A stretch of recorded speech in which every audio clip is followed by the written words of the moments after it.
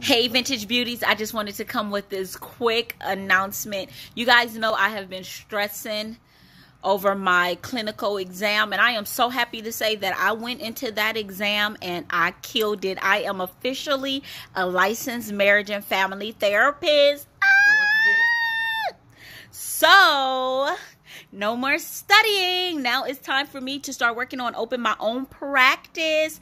Yes, I'm so happy. So I was thinking I want to help other um, clinicians who are trying to get their license because I've I kind of formulated this little study plan and I got my whole binder and I want to help you if you want the help. So please comment down below if you want help and assistance in getting licensed so you can know some of my study tools that helped your girl pass because I have I have test anxiety real bad and I had to really do some mindfulness, some praying. First of all, I bought the study material, but then I also prayed like never before.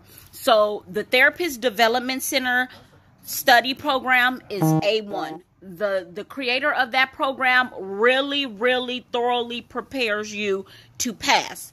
The holy spirit reminds you of everything that you need to know to ensure that passing grade.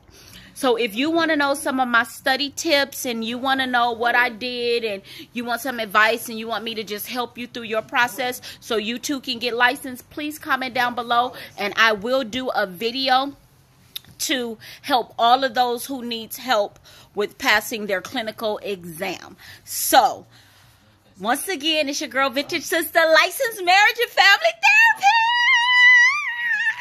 therapist. I am so happy that this burden has been lifted. It is time for me to fly and soar high. Cause yeah, your girl did it. Your girl did it. Undo sis.